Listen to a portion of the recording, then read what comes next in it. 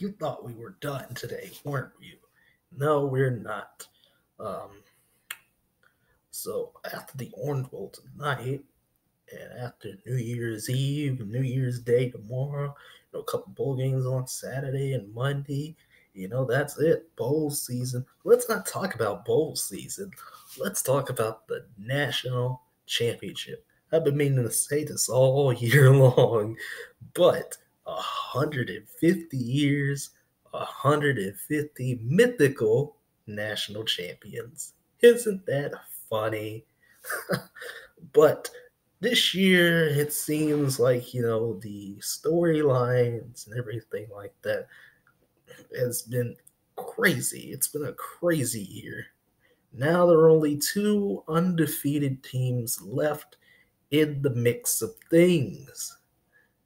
The College Football Playoff National Championship, January 13th. That's a Monday. I don't really like it all that much, but it's a Monday. But, you know, it is what it is. It will be the LSU Tigers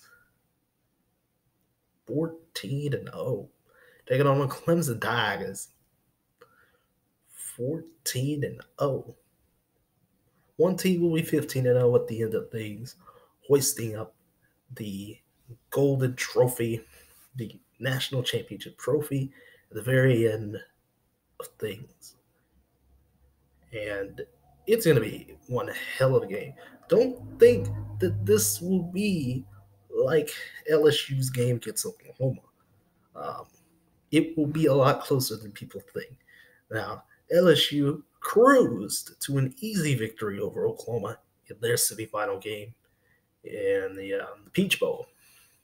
And Clemson fought hard. They were down for a good chunk of that game against Ohio State, but they ended up winning the game. And they ended up coming back here to the national championship for what the fourth or fifth time in the last five years, you know, that they've been in the playoff. And it's great. It's crazy, man. You know, to see that Clemson is back in the national championship looking to get another title under their belts. And it's going to be fun, fun game. Joe Burrow versus Trevor Lawrence. Joe Burrow has a talented, talented wide receiver corps to throw to. And most of those guys, I guarantee, have a thousand yards. Chase, you know, the, the, you know Chase and those guys, they probably have a thousand yards you know, Clyde Edwards Helaire, you know, he's a good running back, let me tell you. Travis on the other side, Travis Etienne, what a, what a good running back. Tee Higgins, good wide receiver, you know, for um, the Tigers.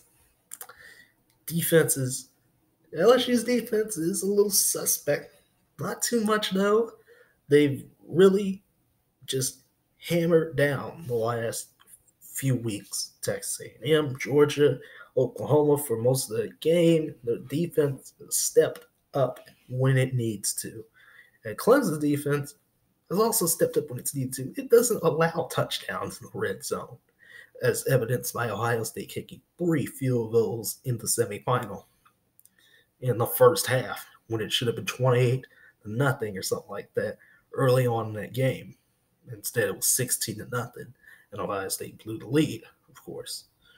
Um, but you know, Dabo Swinney and, and his guys at Clemson, they're gonna go up against Ed Orgeron and his guys at LSU, and it's gonna be one hell of a game.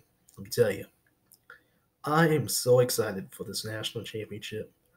Um, it may be 150 years of mythical national champions but hey, we we are looking at a definitive champion this year. Um, as far as you know, who in the world is going to be the last team remaining, the one that will stand up above the rest with an undefeated record.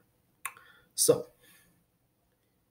I want y'all to just watch this game. Don't think it's gonna be you know, this LSU beatdown or the Clemson beatdown. It's going to be a close game. And if it's not, well, shoot, my bad.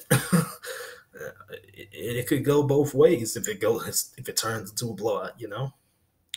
But yeah, two great offenses, two great defenses.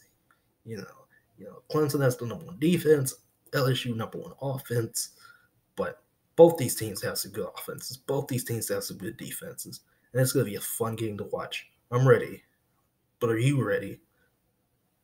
We'll find out who the national champion is on January the 13th, and there will be a recap right after that game. So y'all, y'all, are you guys ready? Are you ready?